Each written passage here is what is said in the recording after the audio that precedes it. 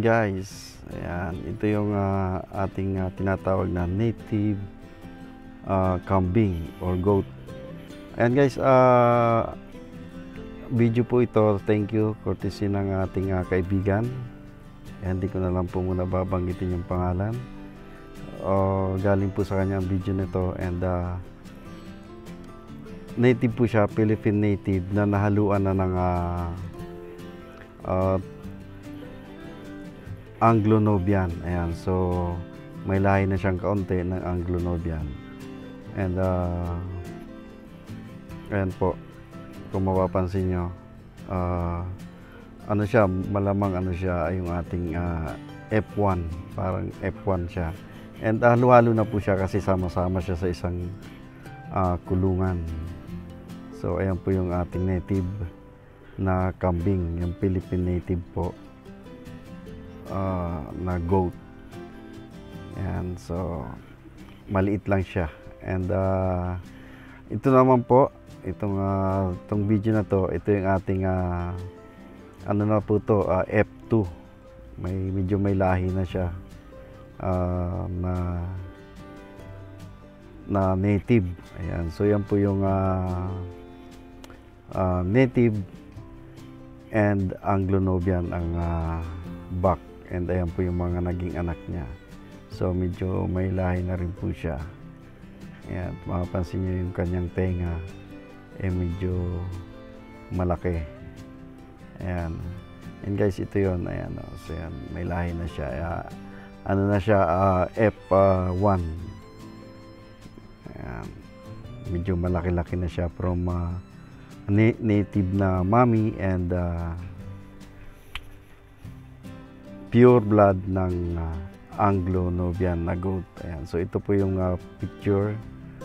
Ayan, yan ng ating ah, pure blood ng native ayan, Philippine goat. Ayan. So yan po yung itatry natin. So tatry natin ah, mag-alaga ng ah, native na goat. And ayan, sana mangyari yan. So tatry natin mag-farm. So beginner po tayo and uh, try natin to. And may different types po tayo ng uh, kambing, ayan, or breeds ng goat. And makikita niyo po sa chart na to. Ayan, dito sa video na to, iba't ibang uh, uri ng kambing. And yung may bilog po or encircle na red, yan po yung gusto kong alagaan. Ayan, Anglo-Nobian uh, and Bower. Ayan, so try natin na bumili ng uh, ng uh, pure uh, breed ng uh, Anglo-Nobian or Boer. Pero sisimula muna natin sa Anglo-Nobian and then sa native or sa F1 uh, ng uh, ng uh, Anglo-Nobian para paglabas niya uh, maging uh, ano na siya F2. Ayan. So try natin 'yan. Yan po yung uh, aking uh, gustong pasimulan. And uh, try natin for uh, siguro tatawagin ko na lang na observation or experimentation kasi beginner tayo and uh, pinapangarap nating mag-farm ng goat. Ayan, kaya gumawa na rin ako ng content para sa goat. Ayan, para mapanood na rin ng iba. Ayan, so correct me if I'm wrong. Ayan, ito po yung uh, uh, pure blood ng uh, Bower. Ayan, makikita niyo yung kanyang uh, back. Ayan, napakalaki. Ayan, mga pure blood po ng uh, uh, Bower yan. Yung nanay niya, uh, pure blood doe and uh, pure blood ng buck. Ayan, so yan po yung mga anak niya. Ayan. So mula pa po, ri, po rin, yung video, mula pa rin po itong video na ito sa kaibigan natin. Ayan. And uh, thank you sa ating kaibigan and shout out sa kanya. Ayan, maraming maraming salamat sa iyo kaibigan. Ayan, so ginamit ko yung video mo and thank you so much. And ito po yung uh, picture ng ating bower. Ayan, uh, siya yung malaking goat. And meron na po niyan sa Pilipinas and marami na nagpapabreed and nag-aalaga from native to bower ng, ng F1, F2, F3. Ayan, so ginagamit mo yan. And uh, meat and ano po yan, milk. Ganon din po yung ating uh, Anglo-Nobian uh, for uh, meat siya and ah, milk. Ayan, ito po yung mga bower or ah, lahi ng bower. Ayan, sa Ayan, simple lang po yung kulungan niya and pakainan. Ayan, ah, pwede po yan. Ito po, sa- ito kaibigan ko talagang may farm to. Pero tingnan niyo naman po yung kanyang ah, kulungan. Simple lang. And ito naman po yung ah, picture ng ating Anglo-Nubian goat. Ayan. Kung mapapansin nyo, wala siyang sungay, matangos yung ilong, and ah, medyo ah, mahaba yung tenga niya. Ayan. So, different color din po yan. Ayan. So, yan po yung ating ah, pure Anglo-Nubian. Ayan. So, may step po tayo about sa pagpapalahi ng kambing. Ayan. So, mula sa native doe na ating Philippine native, then ah, may pure blood po tayo ng Anglo-Nubian back. And then, kapag uh, kinastamp po yung ating native ng Anglo-Nubian back, So, ang magiging labas po niyan ay 50% ng native and 50% ng Anglo. So, yan po yung tinatawag nating F1 do or F1 ah, back kung lalaki yung lalabas sa kanya. So, ayan. So, kung, kung mayroon na po tayong F1 do and ah, yan, sa step 2 naman po. So, may 50 native na tayo, 50 Anglo. And then, pakakasta natin ulit siya sa pure Anglo-Novian. Ayan, kapag pinakasta na natin siya sa pure Anglo-Novian, ang lalabas po sa kanya magiging F2 na, tinatawag nating F2, na 75% Anglo-Novian and 25% ah, native. Ayan, so yan po yung magiging ah, result ng ating 50 native and pure Anglo-Novian. Ayan, 75% na Anglo and 25% native. So meron na po tayong F2 na dough and uh, paabangan po natin siya sa Anglo Novian na pure. And then ang lalabas po niyan itong ah, F3, magiging F3 na siya, 87.5 na Anglo and 12.5% na native. So medyo mataas na po yung ah, yung lahi niya ng ang, ng Anglo Novian.